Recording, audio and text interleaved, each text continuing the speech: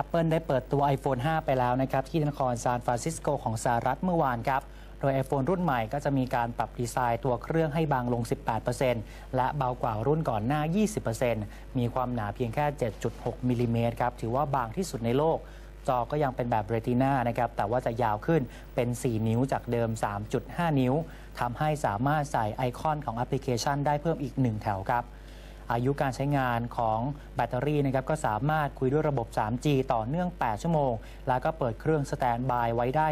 225 ชั่วโมง หรือกว่า 9 วันครับส่วนกล้องก็มีความละเอียดเท่ากับรุ่นก่อนหน้านะครับ แต่ว่าเลนส์จะบางกว่า แล้วก็ทำด้วย sapphire crystal ครับ สามารถถ่ายภาพได้คมชัดมากขึ้น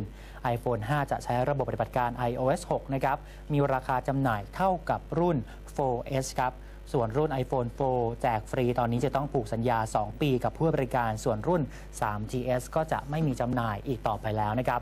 Apple จะเริ่มให้สั่งจองได้ 14 กันยายนนี้ครับ แล้วก็จะวางจำหน่ายอย่างเป็นทางการ 21 กันยายนในสหรัฐและอีก 8 ชาติ ทางด้านเว็บไซต์ IT m a r k a b l e ของสหรัฐก็ได้ทำผลสำรวจนะครับ พบว่าบรรดาสาวก Apple ประมาณถึง 75%ทีเดียว ก็มีแนวโน้มที่จะเปลี่ยนจาก iPhone เครื่องเดิมเป็น iPhone 5 ภายในปีหน้าครับนักวิเคราะห์ก็คาดว่า iPhone 5 อาจจะเป็นโทรศัพท์มือถือที่ขายดีที่สุดในประวัติศาสตร์ของ Apple เลยนะครับอาจจะขายได้ถึง 10 ล้านเครื่องภายในระยะเวลาไม่ถึง 3 สัปดาห์ครับ